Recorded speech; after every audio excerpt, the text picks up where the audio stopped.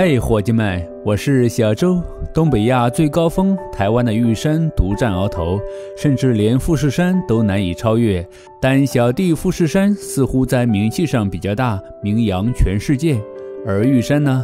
其实大家也都知道，只是在不同的地区和国家对玉山的认识都不同。在我以前的印象中，玉山比阿里山逊色，景色也没有阿里山美，跟电视上见过的富士山也是没有办法比的。但其实这都是无知的体现。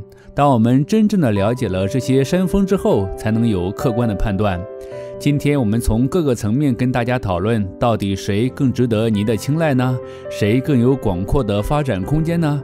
首先，我们来看一下样貌。玉山主峰的样子像一个十字形，因为是欧亚板块和菲律宾板块挤压形成的，所以南北长，东西短，雄踞于台湾中央略东南的位置。但只看三千九百五十二米的主峰。不一定比富士山美，但因为这里的群山环绕，有中央山脉、阿里山脉以及玉山山脉混合而成，一个玉山公园就有三十座山峰，形成立体的亚热带高山型多物种、多景点的旅游区。无论是悬崖峭壁，还是溪谷林道，还是云海奇观，在不同的山头、不同的地方，感受是完全不一样的。综合还是更好。一年四季在一个公园内完全能找得到，这山峦叠嶂，似乎代表了这里的人们拥有广阔的胸襟，接纳着来自世界各地的朋友。很遗憾，小周我就没有爬过阿里山去了，这里没跑过去看看，挺后悔的。现在时间也不允许了，只能期待着春暖花开，再次赴台了。咱们再来看一下富士山，富士山看表面确实挺好看的，也是日本文化的象征。但您从周围看过去，富士山一圈基本都是低矮型的小山头，跟玉山周围形成的壮阔没办法比。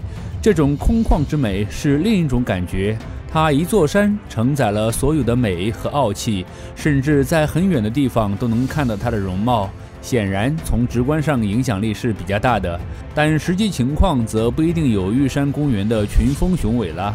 富士山纬度更高，常年积雪，让它有一种圣洁的感觉。而日本人称为“不死、不二、不仁”，福地、富慈，对它充满了期待。而在国家层面上，又对其进行了充分的包装和文化的渗透，让全世界的人都知道富士山是一个福地，是一个樱花满山的地方，是一个承载了日本梦想的地方。但其实您看看就知道了，富士山之所以这么出名，是它对山体进行了完善的包装，半山腰有一圈都是旅游景点，火山口也建设的比较完善。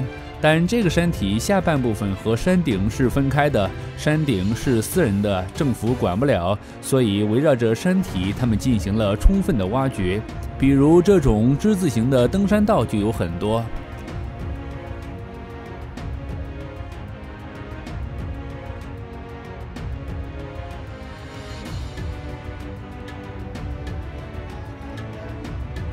伙计们，您觉得这种火山跟台湾的玉山相比，在物种的丰富程度方面，哪一个更胜一筹呢？咱们回到玉山，整个玉山水系分布均匀。古话说，有山则名，有水则灵。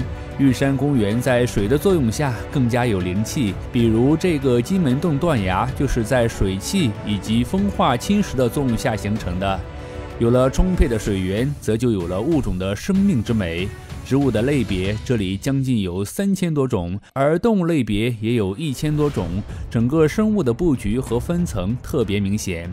有的台湾小伙伴给我说：“老弟，在玉山的西北园区、南部园区、东部园区以及中央核心地区都能找到春夏秋冬。”我开始有点怀疑，但我看了官方给的解说手册之后，明白了，应该是客观的。因为每一个人欣赏角度不同，所以对待自然景观、植物的观察点也不同。所以，假如您来玉山，还是需要多戴一个眼镜的。整体来看，玉山比富士山更有看头，更加有滋味。只是玉山太高了，而且很多地方都比较险峻，所以在市场开发和宣传上还是不足的。要想名满天下，就要往全世界推。而阿里山就不一样了，光听歌曲就已经陶醉了。不看山，不来台湾也能吹上几句。阿里山啊，哦，伙计们，我听过。是不是那首唱的阿里山的姑娘美如水呢？提起音乐，玉山山脉一带的布农族是最值得一提的。但这个民族的人们多数以和声之美来服务于生活，多用于农事、祭祀以及驱邪等活动。所以，单单想靠合唱或者和音之类的音乐推广产生的影响力，是远远没有朗朗上口的流行歌曲来得更便捷的。而关于富士山的歌曲数不胜数，有一些都做成了专辑，并且各国的歌手想要创作日本音乐，多半都喜欢加一个富士。比如歌曲《富士山下》，陈奕迅就唱过。在歌曲的影响力方面，玉山显然有更长的路要走。